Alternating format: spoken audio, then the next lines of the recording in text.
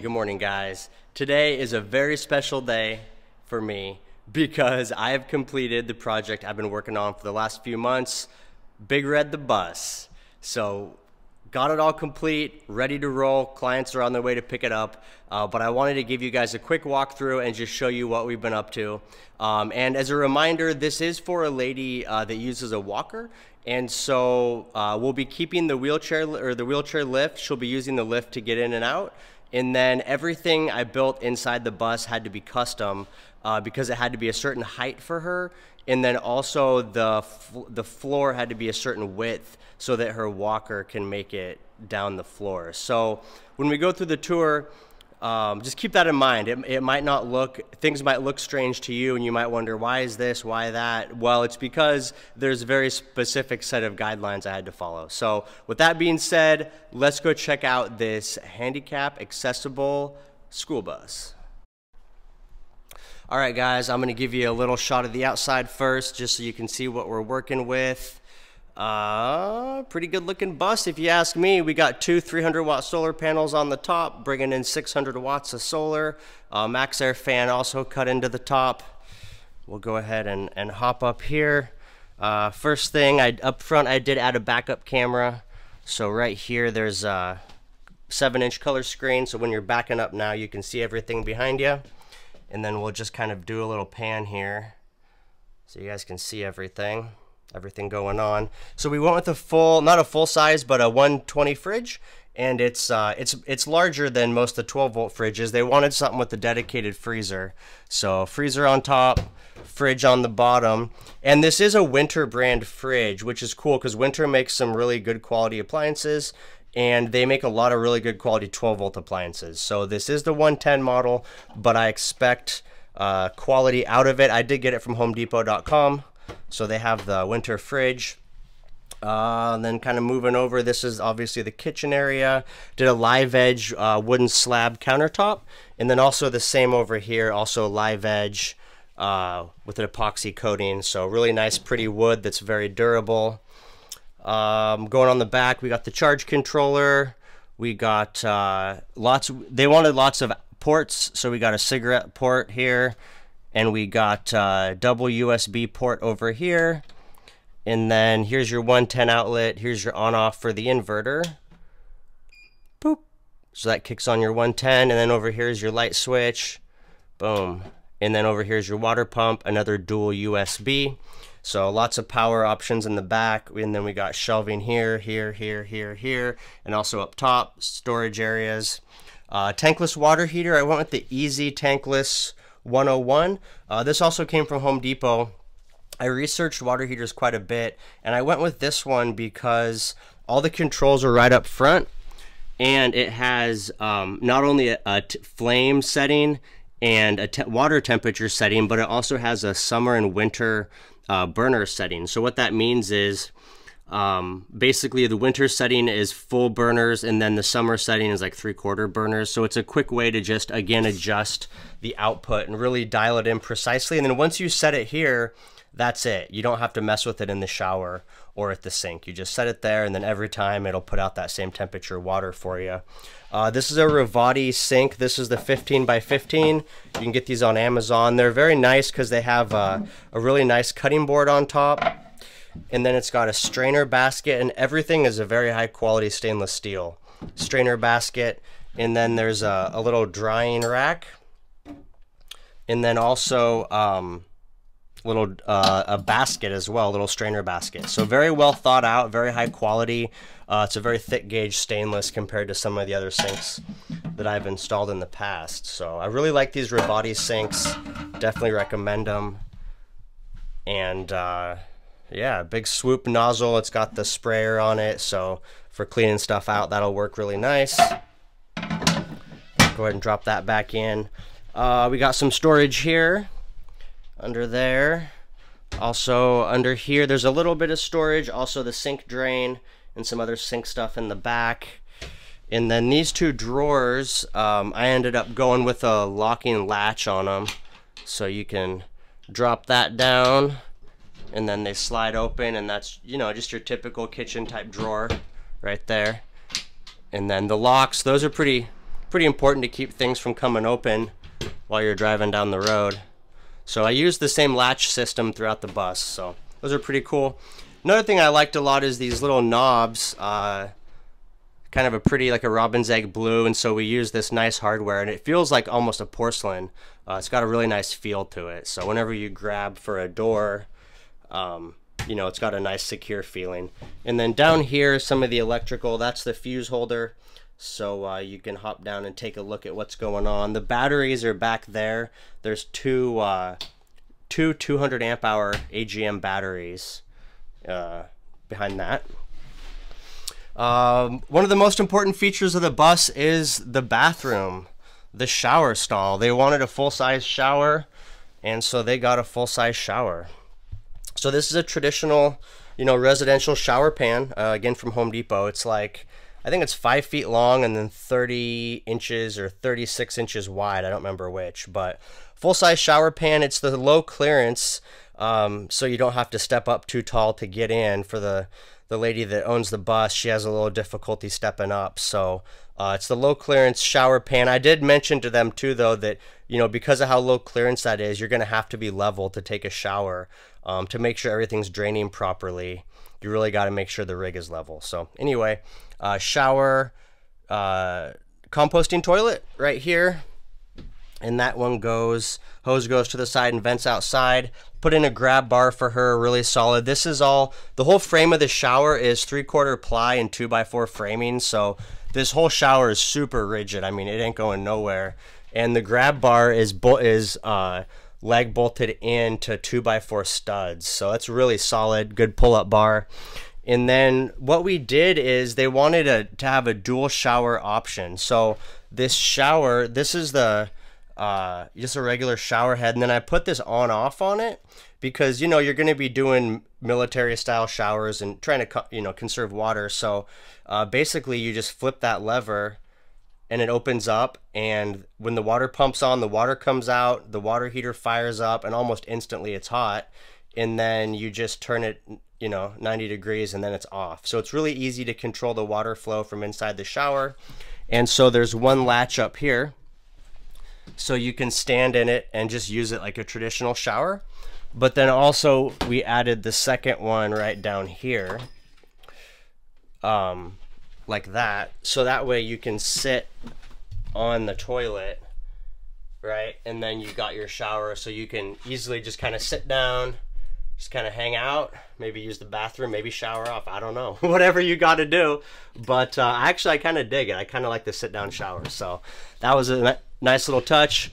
Um, also, I left these back windows in because when you're these people are going to be mostly boondocking, you know, down in the desert in Arizona. So, you know, when you're out there and it's 90 degrees and you got to shower off, um, it'll be nice.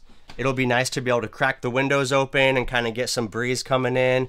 And then also, um, there's a max fan up here so they can kick on the max fan and that'll get a nice cross draft go going you know coming in the window swoop up the condensation push it out the top and then we also i left the emergency exit so they can also pop that up so there'll be plenty of airflow for the shower and i gotta say i really do this is a really cool shower i'm really uh, i really like how it turned out really nice so anyway full size shower and then kind of moving on over so this is the wheelchair ramp um, but what we have going on here is she wanted a desk that she could sit at, do some computer work, probably eat.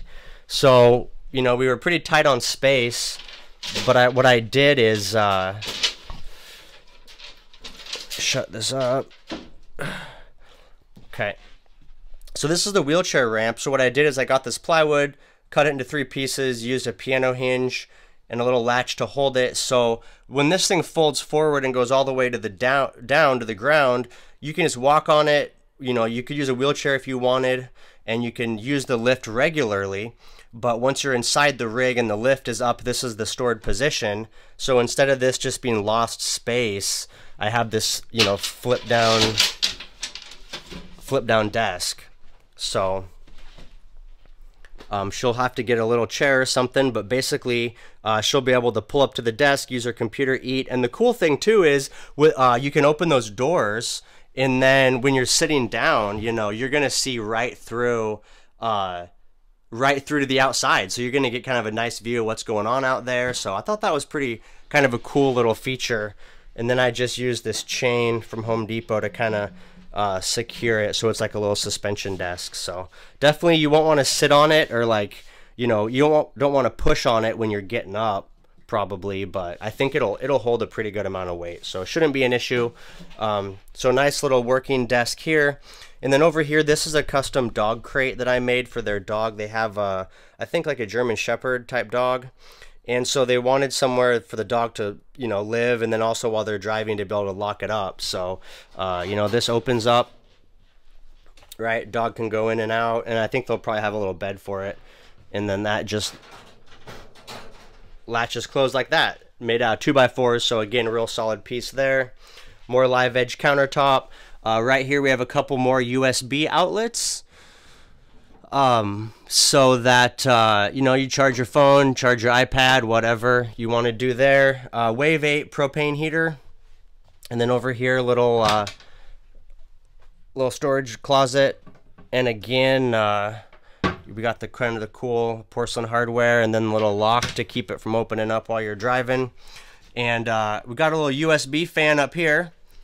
And this guy, uh, this is cool because it has a built-in battery, and then all, and it's got three speeds, but also uh, it has a little USB cable.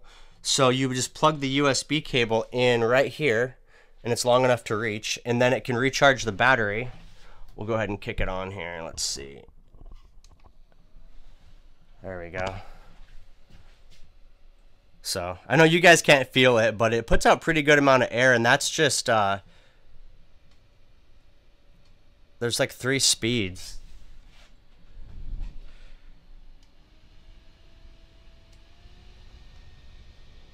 So you can probably hear that. That's like high, high speed. But anyway, pretty nice little fan. So that'll help move when the heater's on. Uh, we couldn't put the heater down low because she needs to be able to access the controls that are right here. So the heater's up high, but this fan puts out quite a bit of air. So this should help circulate, um, circulate the heat throughout the bus. And also just, you know, if it's hot, uh, the fan will help cool things down. In fact, you can sit in the chair right here and you can feel the fan. So that's actually, it's a really nice fan. You wouldn't think it would do that. It would really, you know, move that much air, but it does. And that was just like 24 bucks on Amazon. So pretty nice little deal. A uh, little adjustable little mini fan. So anyway, uh, moving into the back, what we did here is uh, she's got a power recliner. So that was kind of a big thing. Um, you know, it has a full-size bed over here. And what this is, is uh, the bed has uh, a, a portion here. So this is like her her day sitting position and i think she sleeps in the chair a lot so she'll probably mostly be sleeping in here but you can take the chair and just slide it forward and turn it and then the bottom part of the bed folds up and then this cushion here goes down at the end so then there's three cushions and it's a full size bed i didn't cut the mattress so it's like you know six and a half feet long and like four and a half feet wide so it'll sleep two people comfortably um, but in the meantime, you know, you can kind of use it almost like a day bed. Um, got this little shelf here, magnet that up. But, you know, so you can just hop here and I'm like, I'm like five foot, 5'10. And when I sit up, you know, my feet don't even go to the end. So, you know, you could even just sit here to relax or maybe take a little nap here or whatever. But anyway, so you got two sleeping options. You got the bed and you got the recliner and uh, it's pretty cool. It's a power recliner. So we'll check it out. Let's see. Oops. Oh. Whoa. Yeah, buddy. Take me all the way back. Uh. so I'll hop up and show you guys what that looks like. So there it is with the recliner all the way back. So it fully stretches out. Uh, you can kick your feet out, kick your head back, easily nap right there. And uh, I gotta admit, it's pretty cool. I never seen a recliner uh, in a converted bus before, so that's pretty pretty slick that we were able to squeeze that in. And then the other cool thing about it too, you know, is just the location of it. You're kind of in the back of the bus. you can see everything. But then when you're looking over here, you know, right now it's just a shop, but when you're out, you know, out on BLM land or whatever, you'll be able to just look over, look out the window, watch the cactus grow. so it's actually a really cool uh, little viewpoint. So I like the chair. I'm glad she went with the chair. It's pretty cool. I think she's going to enjoy it. So we got that. Uh, we got a little storage cabinet up top. Uh, little closet rod. You can hang some stuff. AC. The air conditioner uh, does work. They had everything recharged. Um, I went ahead and painted the cover because it was like an ugly yellow. It had just yellowed over time. You know, they kind of get they get old and the white fades. So anyway, I repainted it so it's a nice uh, clean white and it matches all the other white in here. And over here, this is the fold up, um, the fold up kind of little desk area there. So if you're sitting in bed or sleeping, you can put your phone up there. Oh, also she has a CPAP machine. So she'll put her CPAP there and uh, plug it in right there and then she can sleep either in the chair or in the bed. So that's also a CPAP. Um, but anyway, besides that, we also added, uh, it's got a little, a little switch here for the fan and that's for the, um, that's for the fan in the toilet. So the toilet has an exhaust fan. So that's what this is. But I put a switch on it because otherwise it just runs all the time. Uh, which is what you want, except if you're not going to be using the vehicle. You know, if you're going to be parking for a while or something, um, it's nice to be able to just kill all the power. So we got that, and then down here is a little double USB charger as well, so she can charge whatever devices that she's got right there. So that's that. Under the bed is the water pump uh, the accumulator tank, and then a 40, I think 46 gallon freshwater tank. And then the gray water tank is under the shower here, under the bus. And so then additionally, I made this little drawer, uh, little slide out drawer. So it's pretty nice. It's like 41 inches deep. So you can fit quite a bit of clothes or blankets or whatever you want, you know, fit it in the drawer. And then that's also got a little latch that just keeps it from, you know, rolling forward while you're driving. So little underbed storage there. And uh, yeah, that kind of, that's pretty much it. There's not a lot of uh, different like storage spaces in here. Everything, everything we put in was kind of big. The recliner, the bed, the dog crate, we kind of used up a lot of space, but man, I tried to maximize every, all the, all the room that I had. I think we did pretty good. One other thing I'll show you is these light fixtures. So this bus came with uh, like old fluorescent tube light fixtures and they're really ugly. And this was the original location for them. Um, but what I did is I, I disconnected them and I got these LED fixtures. What's cool about these is, you know, you can turn them off and then you can turn on just one or you can turn on both. And they all do that. So that way, you know, depending on what you're doing, like if you're you know, just want one light on for reading at night, you can turn off all the other lights or, you know, however you want to set it up. And then there's a master switch right here. So let's see, here's the 110, turn that off. But here's the light switch. So, you know, you just kill that or on, and then you just easily turn everything on or off. So, boom. That's it. So that's it, guys. That's a tour of Big Red. Uh, it's been quite a bit of work, but I, I'm happy with how it turned out. And more importantly, I think it has all the features, all the main features she was looking for to be comfortable. Uh, the recliner, I think, is a huge one. Having a full-size shower is pretty awesome, pretty rare, especially for as small of a bus as this is. I feel like we packed a lot in this small space. So that's it. What do you guys think? Let me know. I hope I, I uh, sparked your interest and maybe gave you guys some ideas for your build. And uh, yeah, so let me know what you think and uh, leave a comment. And I appreciate it. I'll see you guys next time. Nomad Brad signing out.